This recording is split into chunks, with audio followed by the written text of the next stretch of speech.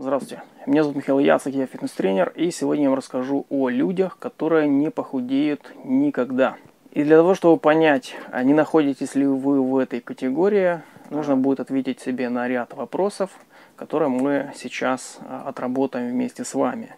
Итак, а что вы делаете сейчас? Что вы готовы сделать сегодня? Потому что, как гласит старая мудрость, то, что не сделано сразу, то не сделано никогда. Можете проанализировать себя, своих знакомых и своих близких, и вы заметите, что все задумки, все начинания, которые не были сделаны сразу, не были сделаны никогда в 99% случаев. Поэтому, если вы хотите похудеть, нужно что-то сделать сразу, сейчас, сегодня. Ну и дальше наметить себе стратегию действий на будущее, на завтра, на послезавтра. Люди, которые считают, что нужно худеть медленно, уверенно, теряя по 300-500 грамм в месяц, чтобы, не дай бог, никак не шокировать свой организм, потому что они начитались, что если слишком резко похудеть, то это будет очень плохо для здоровья, там большой стресс и все такое. Ну, если вы слишком быстро сбрасываете лишний вес, лишний вес, я подчеркну, что в этом может быть плохого? Представьте, если вы на себе э, всю жизнь таскали огромную сумку, огромный рюкзак с камнями. И почему бы не сбросить это все сразу? Нет, нужно по чуть-чуть, по одному камушку в месяц, по чуть-чуть, уменьшая на 300 грамм э, каждый месяц. Ну, это тупо неоправданно. А, да, конечно же, есть достаточно большое количество тупых диет. Конечно же, если э, худеть по тупым диетам, э, большинство которых просто угробит ваш организм, то лучше, конечно, делать это медленно. Потому что если бы, ну, медленно себя угробить, это, наверное, лучше, чем угробить себя быстро. А, поэтому нужно просто выбрать нормального тренера, нормального специалиста, который дотянет вас к результату. И, э, ну, к примеру, мои клиенты всегда сбрасывают достаточно быстро лишний вес, то есть сколько есть, это все сбрасывается буквально за 1, 2, ну максимум за 3-4 месяца, если лишних килограммов там 20 плюс. Но э, обычно нормальная динамика это 10 килограмм в месяц. Это и, ну, некоторые сбрасывают по 20, некоторые по 5. То есть, если есть что сбрасывать, то сбрасывается это все достаточно быстро. И делается это без вреда для здоровья. Больше скажу, делается это с пользой для здоровья, потому что э, принцип похудения достаточно прост. Вы просто приводите свой организм в порядок – и он сбрасывает все лишнее. И вы приобретаете здоровье вместо того, чтобы его терять. Я всегда скептически отношусь, когда слышу, что нельзя худеть резко, потому что э, это плохо для здоровья. Нет, нужно худеть резко и нужно худеть быстро.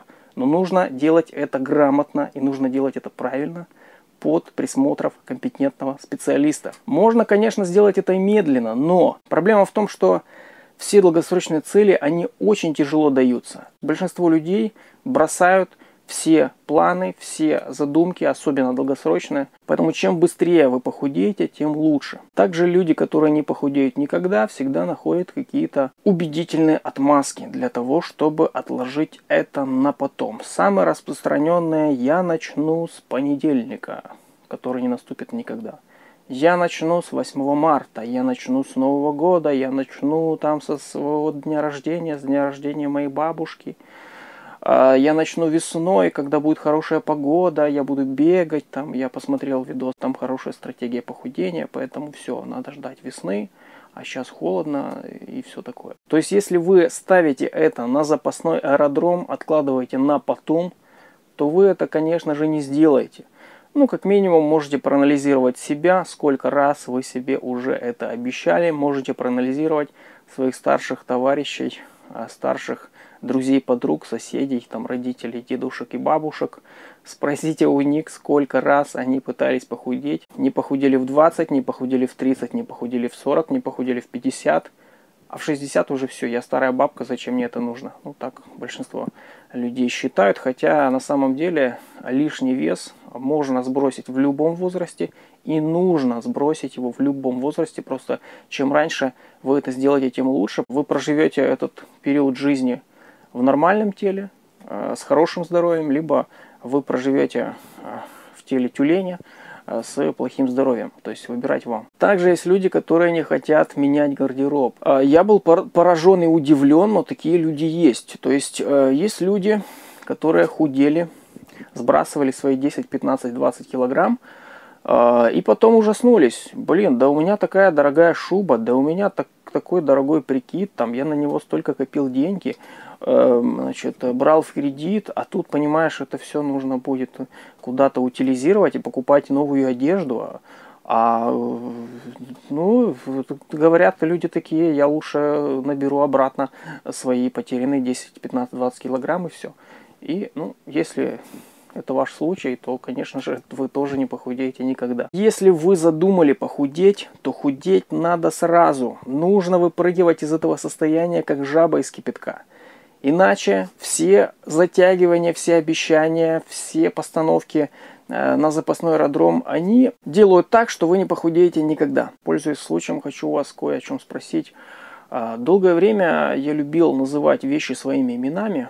А, ну, например, жирных людей называл жирными, ну, потому что у них много жира, и поэтому я их так называл. То есть я старался выбирать Э, какие-то максимально точные, понятные формулировки, не задумываясь о том, насколько они там цепляют, задевают и оскорбляют человека, хотя я никогда не ставил себе цели оскорблять э, жирных людей, но э, через какое-то время я открыл для себя, что если жирный человек э, слышит слово жирный, то его это оскорбляет. Я не мог понять, почему Слово «жирный» это оскорбительно, а слово «мускулистый» это не оскорбительно. Поэтому просьба написать мне в комментариях, э, если я вас оскорбил, и э, в чем суть вообще э, оскорбления. И это, кстати, еще одна причина, почему вы не похудеете никогда. Если вы придумаете разные уменьшительно-ласкательные слова э, своему лишнему жиру, то есть для вас жирный это оскорбление – вы говорите там пухленький, полненький, какие-то такие вот вещи, я не буду все их перечислять, но если вы придумываете себе такие вещи, это способ уйти от реальности, это способ скрыть реальную проблему. И, конечно же, в таком случае вы тоже не похудеете никогда.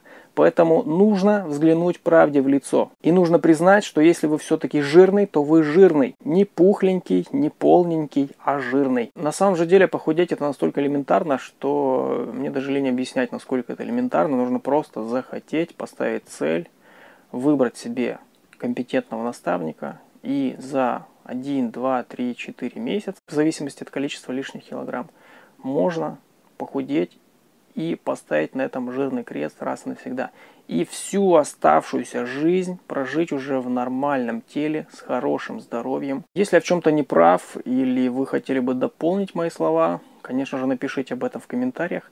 Также подписывайтесь, ставьте лайки и до новых встреч.